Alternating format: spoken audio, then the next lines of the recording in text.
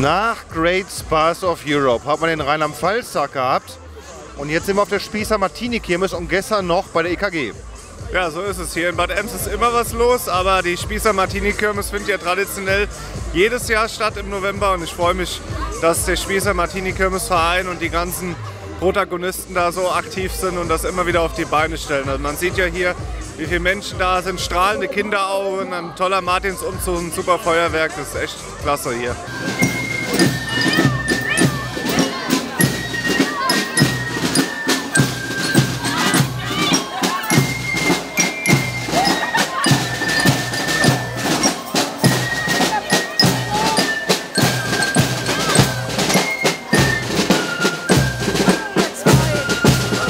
Strahlende Kinderaugen, ein ganz, ganz toller und riesengroßer St. Martinsumzug.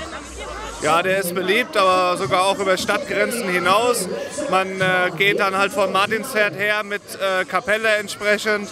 Äh, die Martinslieder werden gespielt und dann nachher ist die Bäderlei total schön im Lichtermeer getaucht und auf der Lahn äh, auch ein äh, großes Martinsfeuer und dann halt äh, das Feuerwerk. Das ist schon was Besonderes und dann freuen sich die Leute natürlich auch nachher hier auf den Kirmesplatz zu können.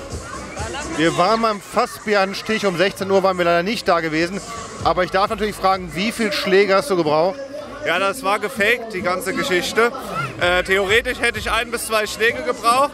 Und äh, da gab es aber mit dem Hahn Probleme oben mit, mit, mit dem äh, Hebel, mit dem Hahn. Ja. Also, äh, aber gut. Dann waren es vier Schläge.